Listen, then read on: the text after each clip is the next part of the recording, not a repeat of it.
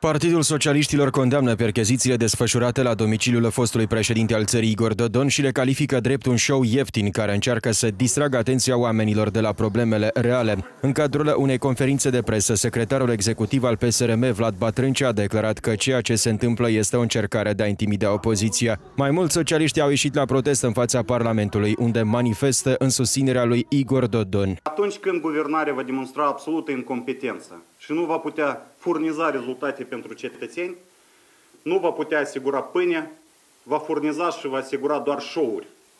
Ceea ce s-a produs astăzi cu colegul nostru, cu ex-președintele Republicii Moldova, domnul Igor Dodon, este un show de doi bani.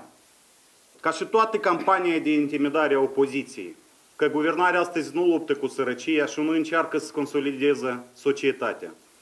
Ei luptă cu opoziția. PSRM a îndemnat pe cei din conducerea țării să nu încerce destabilizarea situației din Moldova, mai ales în aceste vremuri complicate. Noi nu putem să facem, să ne permitem să facem niște declarații nechipzuite. Cu atât mai mult destabilizări când oponenții politici sunt persecutați. Asta este situația actuală. Noi nu ne-am dorit acest lucru. Noi și astăzi am chemat cei de la guvernare să avem discuții. Și este loc pentru discuții.